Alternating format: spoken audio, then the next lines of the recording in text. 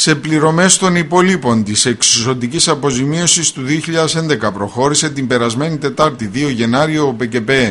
Οι πληρωμές ανέρχονται σε 1.994.170,19 ευρώ και αφορούν σε 2.877 δικαιούχους κτηνοτρόφους όλης της χώρας σύμφωνα με σχετική ανακοίνωση της υπηρεσίας αυτής που εποπτεύεται από το Υπουργείο Αγροτικής Ανάπτυξης την ίδια ημέρα εξάλλου έγινε και η πληρωμή για το μέτρο 121 σχέδια βελτίωσης με τρεις δικαιούχους και ποσό 137.344,74 ευρώ.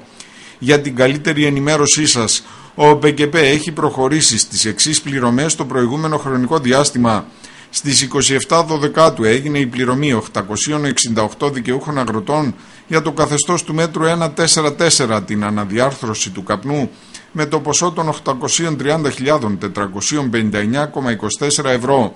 Επίσης στις 27 Δωδεκάτου έγινε η πληρωμή του μέτρου 121 σχέδια βελτίωσης με 23 δικαιούχους και ποσό 486.640,12 ευρώ. Στις 24 Δωδεκάτου έγινε η πληρωμή του μέτρου 121 σχέδια βελτίωσης με 3 δικαιούχους και ποσό 175.730,3 ευρώ. Και φυσικά στις 18 Δεκεμβρίου έγινε η πληρωμή της εξόφλησης της ενιαίας ενίσχυσης για το 2012 για 682.782 δικαιούχους αγρότες παραγωγούς όλης της χώρας με το ποσό του 1 και κάτι δισεκατομμύρια ευρώ. Περισσότερη έρευνα και εκπαίδευση, περισσότερη κτηνοτροφία και δάση, αλλά και μέτρα για την ενίσχυση της λειτουργίας των Farmers Market και του αγροτικού εισοδήματος σε περιόδους μεγάλων διακοιμάσεων των τιμών περιλαμβάνει η πρόταση στρατηγικών επιλογών για την αγροτική ανάπτυξη μετά το 2013 που δημοσίευσε για διαβούλευση το Υπουργείο Αγροτικής Ανάπτυξης μέχρι τις 15 Φεβρουαρίου 2013 όπως αναφέρει το Agronews.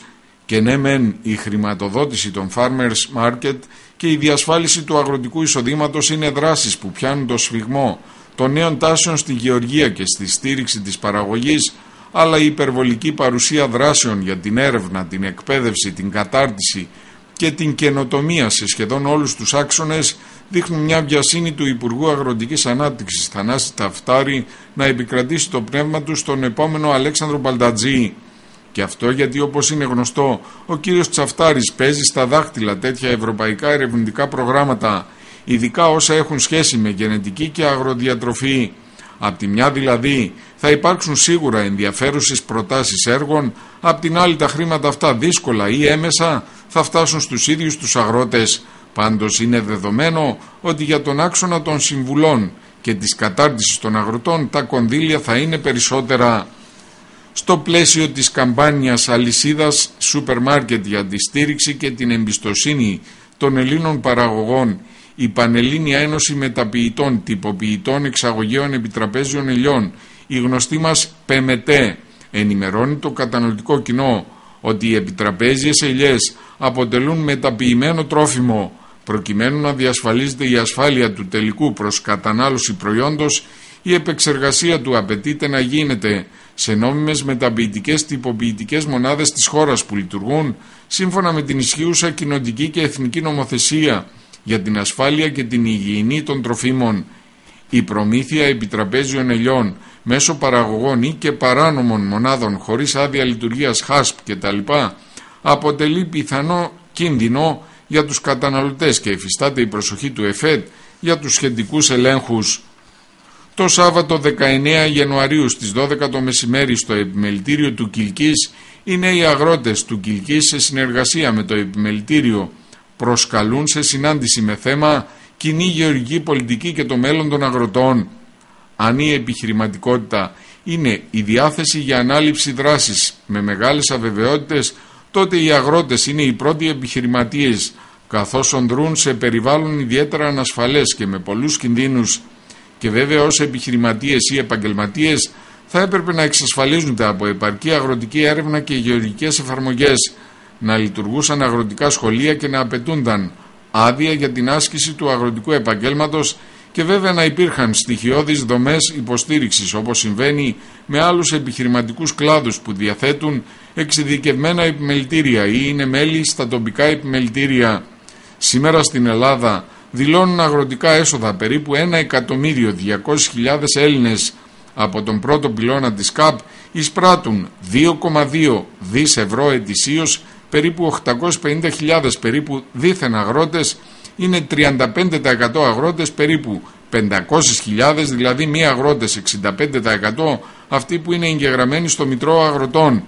Υπολογίζονται σε 320.000 οι κατά κύριο επάγγελμα αγρότες με 51% των εισοδημάτων τους από αγροτικά και είναι μόλις 180.000 οι επαγγελματίες αγρότες μέσα στους οποίους και οι νέοι αγρότες οι οποίοι προσπαθούν να δημιουργήσουν καλύτερες προοπτικές για τον αγροτικό τομέα μέσα από τον δεύτερο πυλώνα με μόλις το 1 τέταρτο των διαθέσιμων της κοινή αγροτικής πολιτικής. Τον Ιούλιο του 2013 η Κροατία θα γίνει το 28ο κράτος μέλος της Ευρωπαϊκής Ένωσης 11 χρόνια μετά την αίτηση της ένταξης. Ο κροατικός αμπελώνας αποτελείται από 130 ποικιλίες κυρίως αυτόχθονες και καλύπτει πάνω από 34.000 εκτάρια. Αν και τέσσερις περιοχές παραγωγής ξεχωρίζουν στην Κροατία, υπάρχουν σχηματικά δύο κλίματα. Γύρω από τις Άλπεις στον βορρά, περιοχή κατάλληλη για λευκά σταφύλια και μεσογειακό κλίμα στο νότο, που επιτρέπει την καλλιέργεια των κόκκινων σταφυλιών.